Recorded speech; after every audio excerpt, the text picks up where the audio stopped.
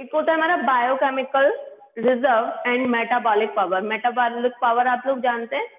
उपापचय, जो हमारे मतलब डाइजेस्ट करने की पावर होती है। ठीक है?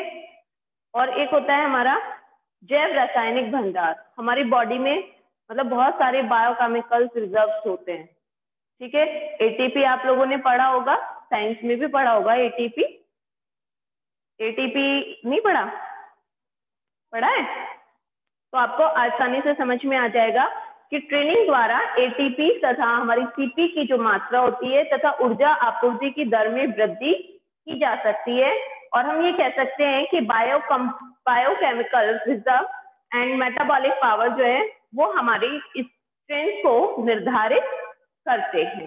ठीक है? शक्ति को मतलब दौड़ने के लिए हमारी शक्ति गति को निर्धारित करते हैं। फिर आते हैं हम physiological factor determine endurance endurance क्या? हमारी सहन क्षमता। ठीक है? तो एक होता है हमारी एरोबिक कैपेसिटी ठीक है?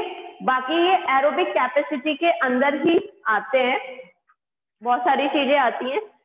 एरोबिक कैपेसिटी के अंदर फ़र्स्ट इसका आता है ऑक्सीजन को लेना या अंदर ग्रहण करना। ऑक्सीजन इनटेक एक होता है ऑक्सीजन अपटेक मतलब ऑक्सीजन का ट्रांसपोर्ट करना। ट्रांसपोर्ट मतलब लेना या छोड़ना। एक होता है ऑक्सीजन अपटेक, जो हमारे मतलब शरीर में जो ब्लड में जो मात्रा होती है, शरीर में कार्यरत मांसपेशियाँ होती हैं, उनके द्वारा अवशोषित उपयोग में की जाती है। ठीक है, एक होता है हमारा एनर्जी रिज़र्व ऊर्जा का भंडार। हमारी बॉडी में होता है एनर्जी रिज़र्व होती है ना। हम बहुत बार आपने देखा होगा, हम लोग एक टाइम में अगर खाना नहीं खाते, लेकिन हम उतना काम करते रहते हैं तो वो कहाँ से? हमारी बॉडी से तो एनर्जी मिलती है हमें। ठीक है? एक होता है तुम्हारा लैक्टिक एसिड टॉलरेंस लैक्टिक अम्ल की सहनशीलता। एरोबिक क्षमता को अगर हम निर्धारित करने में अधिक लैक्टिक एसिड को सहन करने की योग्यता को एक महत्वपूर्ण कारक है। ठीक है? फोर्टी सेकेंड या इससे भी ज़्यादा समय तक जारी रखने वाली मतलब जितनी भी हमारी एक्टिविटीज़ होती हैं, कार्य करते हैं, उनको सहनशीलता महत्वपूर्ण होती है। लैक्टिक एसिड को सहन करने की क्षमता में ट्रेनिंग द्वारा सुधार किया जा सकता है और ये हमारी सहन शक्ति को सुधार लाने में सहायता करती है। ठीक है? एक होता है आपका मूवमेंट इकोनॉमी गतिविधि मित्र। एक होता है आपका मसल कंपोजिशन ठीक है? फिर आते हैं हम फ्लैक्सिबिलिटी पे। फ्लैक्सिबिलिटी होती है आपकी लचक मसल्स फ़र्स्ट है स्ट्रेंथ मांसपेशियों की शक्ति पर भी सबसे ज़्यादा फ्लैक्सिबिलिटी निर्धारित करती है। ठीक है? और मतलब अगर हमारी मांसपेशियाँ कमज़ोर हो तो हम कम दूरी की तेज दौड़ों में भाग नहीं ले सकते। ले सकते हैं हम? नो ठीक है? तो हम क्या करते हैं? दौड़, तेज दौड़ों में पैर या घुटने को हम ऊपर तक नहीं उठा सकते।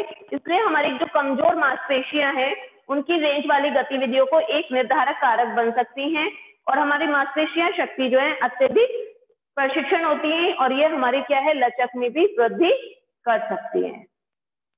एक होता है ज्वाइंट स्ट्रक्चर कुछ हमारी जोड़ों की बनावट आपने देखा होगा, इस तरह की होती है कि कहीं तो मूवमेंट ज़्यादा होता है, लेकिन कुछ हमारे जोड़ ऐसे होते हैं जिनमें हमारा मूवमेंट कम होता है।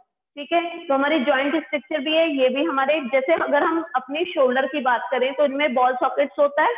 आप अपने हाथ को कहीं भी घुमा सकते हो ना, कहीं भी ले जा सकते हो, कुछ भी कर सकते हो, ऊपर नीचे तो इनमें बॉल सॉकेट्स होता है। बॉल सॉकेट्स आपके कहाँ का घुटने में भी होता है।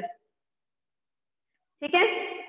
वैसे तो इसमें कई प्रकार के हमारे जोड़ होते हैं, लेकिन अन्य जोड़ों की अपेक्षा अधिक प्रकार की गतियाँ करने की क्षमता होती है।